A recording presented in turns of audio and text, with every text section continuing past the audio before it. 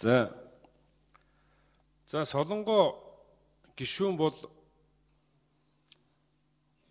манай дарга хөрөсхийн төлөө 42 дугаар тойрогдоор сонгуулийн хойшлуулж өгч байсан. Өөрөөр хэлбэл авгаах нь жолоочийн ээжээр өргөдөл бариулаад тэгээ 42-ын 42 дугаар тойргийг хойшлуулж өгч байсан. Дээрээс нь хөрөсх даргын талд шийдвэр гаргаж байгаа. Баталгааг дэвшүүлэхийн төлөө явж байгаа. Тийм учраас манай нам авч үлдэж байгаамаа.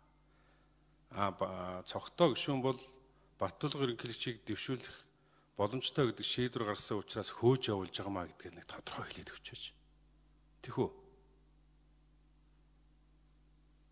Бямцагт дарга. Тэргээ тодорхой хэлчихэл дээ. Манай даргын төлөө үйлчлдэг хүн үлдэж байгаамаа.